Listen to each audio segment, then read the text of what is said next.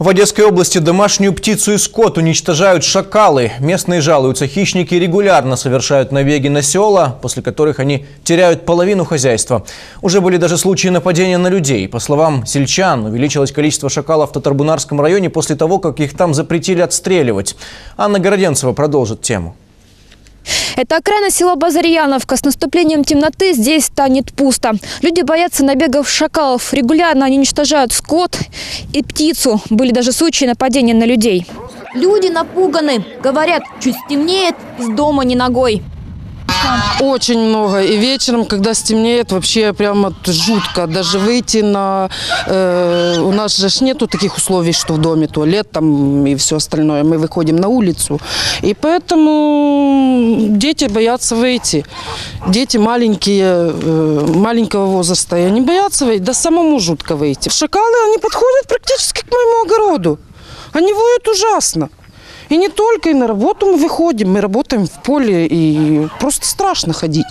Местные фермеры уже забыли про сон. Шакалы заходят даже вглубь села. И людей не боятся. Вот м, вынужден освещать весь огород для того, чтобы охранять свое хозяйство. Вот одна лампочка горит, вон посреди огорода вторая лампочка у меня горит.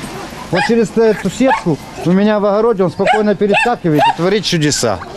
Сергей показывает свою ферму и говорит, высокие заборы не помогают. После ночи атаки он не досчитался половины хозяйства.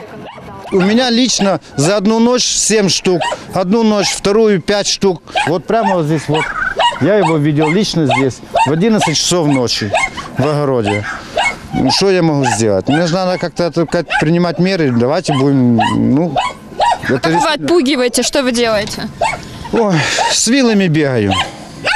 Покупаем петарды, стреляем, запах пороха хоть чуть показать ему, чтобы он хоть чуть как-то боялся. Помогает?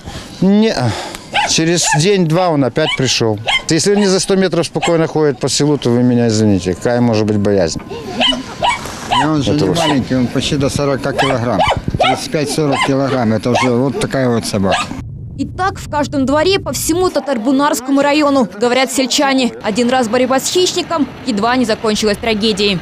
Чоловік заховався там на трансформаторну будку, виліз не на будку, а на постамент тої будки. Та й люди одігнали там. А вони ходять по 5, по 6 штук, по 10.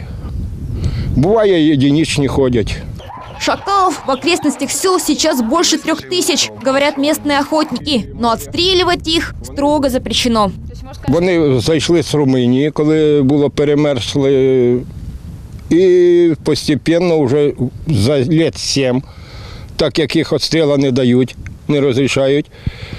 І тут у нас е, ліс це вважається як заповідник. І вони собі спокійно живуть. Ми вже в лісі, мабуть, літ 16-20 не, не були, не заходили. Не на камеру местные говорят, самые отчаявшиеся все же ведут отстрел шакалов самостоятельно. Регулярно здесь находят трупы хищников. Говорят, на кону пропитание семьи. Анна Граденцева, Игорь Обчевский, телеканал «Репортер».